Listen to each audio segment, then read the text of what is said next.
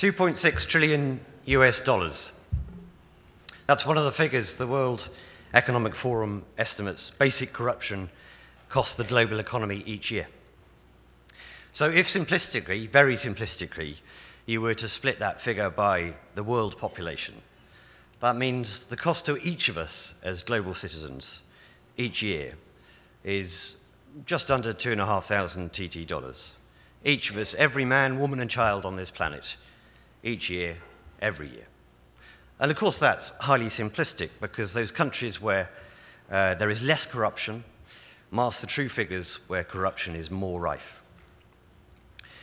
So, forgive me for foregoing the protocols. I mean no disres disrespect to any of the senior figures here today, but this issue the cancer of corruption which affects our societies is so important and so urgent that I believe there is no time to waste.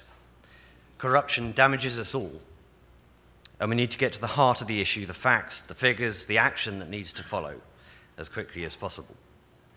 I, I said global citizens deliberately because corruption affects us all, wherever we live, whatever our nationality. None of our countries are immune. So I, I don't stand here to preach in any way. I stand here with humility. In Britain, we have suffered our fair share of corruption.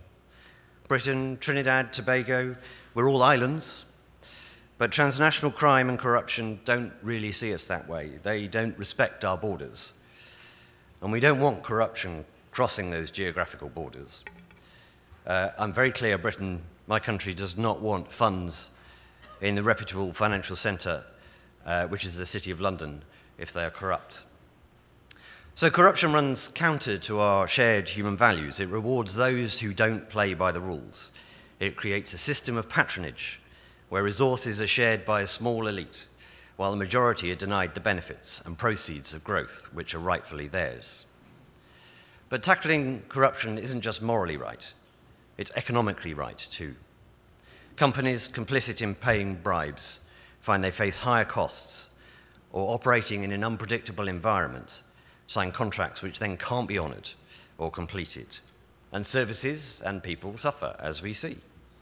And the companies themselves face legal or reputational damage for being complicit in a corrupt system. Still more importantly, perhaps, over the long term, it's those societies which create and enforce transparent, stable rules which attract high value investment. Investors are simply prepared to risk more of their money in those environments and those markets. So if it's all so damaging, why does it happen? I mean, I'm a diplomat, an interested observer in Trinidad and Tobago, uh, seeking to understand. So I ask people, I've put the question to many here, and I've heard a number of answers. Well, High Commissioner, it's just the way of doing business here. Okay, but not in other parts of the world.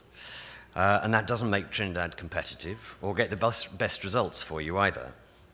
The Anti-Bribery Act in Britain, passed some years ago, means that in those circumstances, British companies can't and won't compete and can't and won't do business here if they see corrupt practice. So you miss out on choice, the choice for quality goods and services. Trinidad and Tobago's global reputation suffers, and we each miss out on building closer links. I've also heard it's because of the oil and gas wealth. Well, times have been good, High Commissioner. So as long as there are trickle-down economics, the country's doing well, everyone benefits. So I'll be straight. I've lived in too many countries to believe in trickle-down economics. And what I've seen that curious phrase mean is usually there is a gush of benefits to a small elite, and no one else receives anything, which drives social inequality, social problems, crime, and if we believe in trickle down economics, we kid ourselves, still more so when any country is facing economic challenges and, it appears that God is temporarily not being a trini. There's no gush, let alone a trickle. People suffer. So I've heard too that attempts to tackle the cancer of corruption have faltered in the face of accusations that such attempts are driven by politics or ethnicity. I hear it. I don't buy it. I know after two years here that politics uh, are pretty lively. But it comes down to a simple principle. If you do wrong, you should be held to account. Your politics or your ethnicity are neither a cause of corruption nor a defense against it. If you've done wrong, you face the music. whatever your position, whatever your politics, whatever your beliefs. I've seen enough scandals and defensive moves in my own country to know that is the only path. So, what's the answer? Well, I don't claim to have it, but I do see the need for an integrated, comprehensive approach to corruption. And wider experience, global experience, suggests three elements we need to pursue together to get results and see real change. First, as we've heard this morning from the Attorney General, governments have a significant role to play in tackling corruption by passing legislation and introducing measures for its enforcement. I've already mentioned the Bribery Act in Britain. It had significant impact. It means that any British company engaging in corrupt, uh, corrupt practice anywhere in the world is subject to prosecution in Britain. So I offer a handful of questions.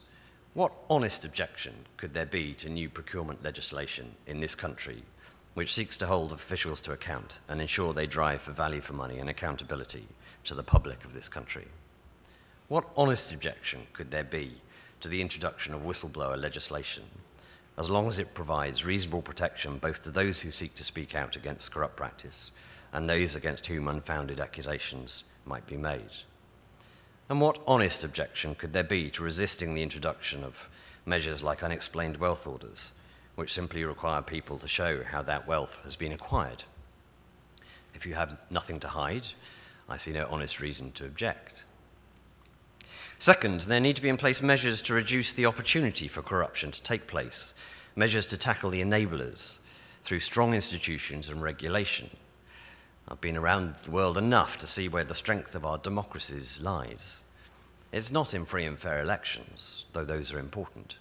Instead, I'd argue, as we've heard from others this morning, our democracies depend on the strength of our institutions. Things will go wrong. As people, we're prone to make mistakes, to be drawn to the easy win. We're all human.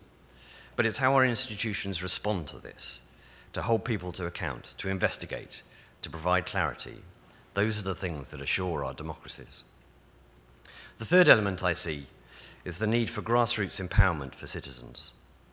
I mentioned earlier how corruption has been explained away to me. And as I said, I don't yet buy any of the reasons. I still don't understand truly why people here put up with corruption as part of daily life. Where is the outrage? Where is the shame that should be felt by those caught abusing the system? We should all be in this together. When faced with the decision of whether to pay a bit more to someone to help us jump a queue, or accept a discount in return for a favor, or avoid paying a tax, we each have a choice. We can just go along with it, same old, same old, and knowing that someone lower down will pay the price. Or we can say no and break the chain of corruption. Perhaps that sounds idealistic. The cynics will certainly argue that there will always be corruption in society because people are too used to taking shortcuts. But while this may look attractive, individually we should all think a little harder about it because in practice each shortcut is contributing to a greater cost which falls on all of us, that 2.6 trillion US dollars each year that I mentioned. So I leave you with a thought. If the community of global citizens who live in this blessed country are serious about tackling corruption, perhaps they should be making some simple demands. For transparency, not mud in the water. For accountability and taking responsibility, not shifting blame. For penalties for corruption, not impunity. For action, not talk. I end with two pledges. My first pledge is because uh, the transnational nature of the corruption of cancer respects no borders. My first pledge is that I will do all I can to continue to bring to the government, civil society, and people of this country British experience, expertise, and, corruption, uh, and cooperation to help Trinidad and Tobago fight corruption, because, as I say, it affects us all. And my second pledge is a personal one. I have in my hand my completed application to join TTTI's membership. And it, this is going to cost me 250 TT dollars. But you know, I would really rather invest that money um, in TTTI, helping them tackle corruption, rather than pay that $2,500, which I have no choice over, because that is what corruption costs me personally each year. Thank you very much for the invitation, and thank you for listening.